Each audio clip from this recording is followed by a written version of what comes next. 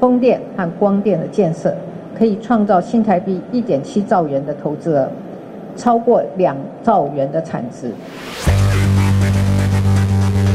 建林盘碳成为国际趋势，蔡政府要在二零二五年达成太阳能发电二十 g 瓦目标，预料能替国内太阳能业者带来兆元商机。昔日的太阳光电产业靠着内需市场重回舞台。光太阳光电到二零二五年呢，就一兆的市场哦，这个是很大。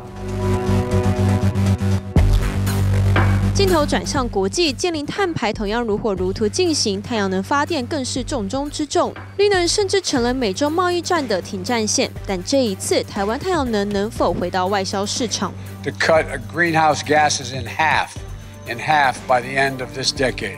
二零六零年前实现碳中和。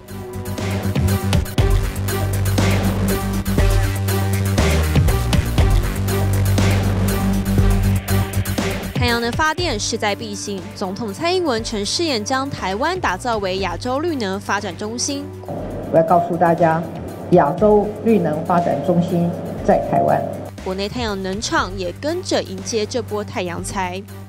与二十年前不同，这次靠的是内需。政府这边购电的价格的一个提升，对于整个太阳能产业获利的一个回稳，这其实都有相当大的帮助，能让。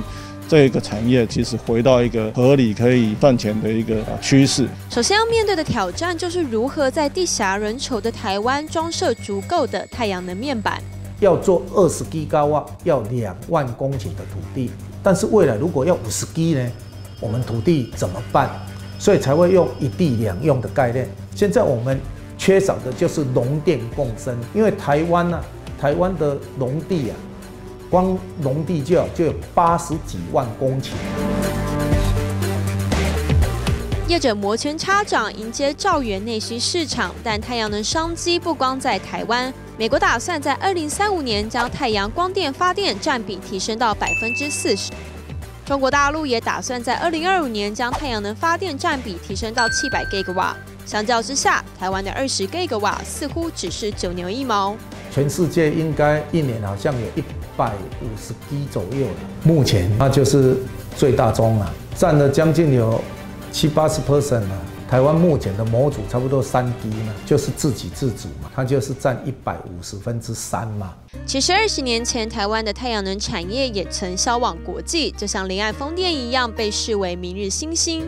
然而，中国大陆寄出补贴政策、无止境的扩厂，加上大陆作用庞大多精细产能与低廉劳动成本，全球的太阳能产业顿失竞争力。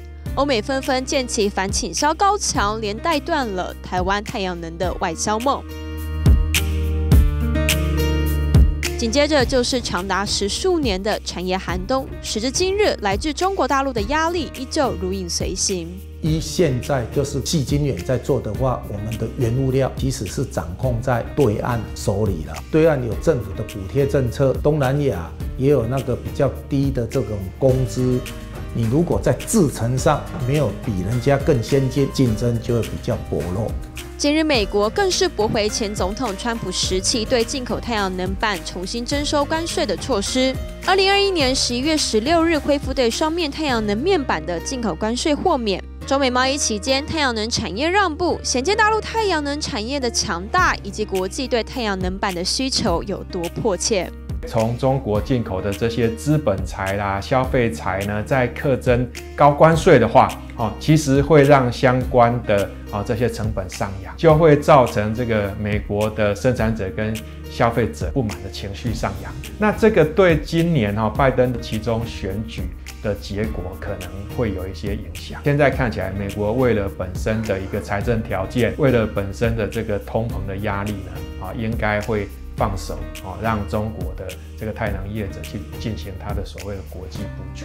减碳风潮再次带起商机，这次如何与对岸竞争，站稳脚步？深耕绿能产业十余年的蔡宗荣就点出，台湾必须软硬实力结合，创造差异化制成技术。太阳光电。跟风电如果能结合储能系统，这是一个很完美的配合啊！这个也是未来台湾在用电的优势啊！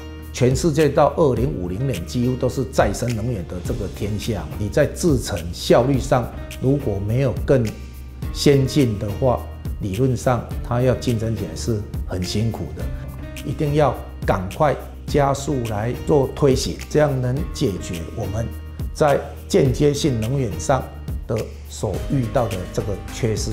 未来台湾太阳能产业如何找出属于自己的一片天，就看台湾政府与企业如何携手迎接绿能加速期。